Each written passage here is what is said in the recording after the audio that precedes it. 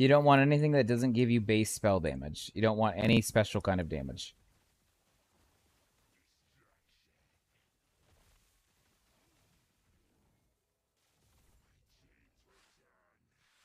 We got an Omnis. Nice. All right.